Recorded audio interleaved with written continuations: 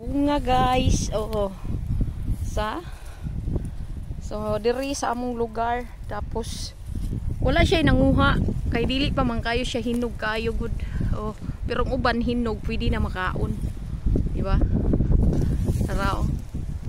Tara.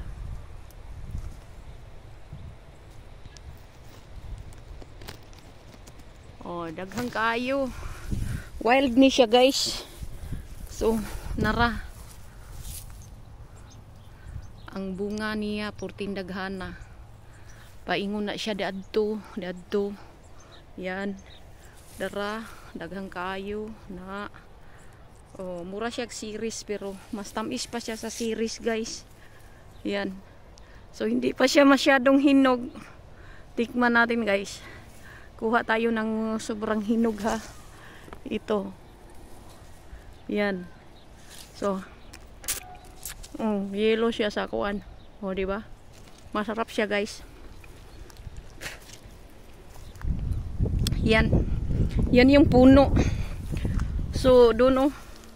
So, nandun yung anak ko. So, sobrang dami sa. Hanggang baba. Hmm? Tapos sa baba, guys, maraming magagandang mga wildflowers oh. Yan sa baba. Oh, di ba? Daming mga wildflowers na puti. Yan, yan. Yan, guys.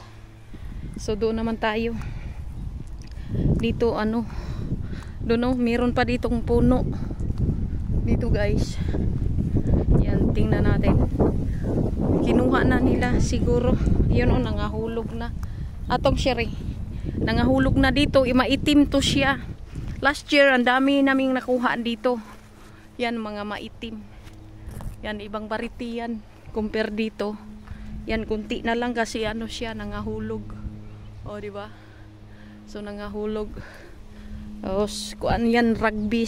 Ano doon na di dyan maglalaro ng mga rugby yung ano sa dito sa ano namin city. City sa probinsya pala. Yan o itim. Itim siya guys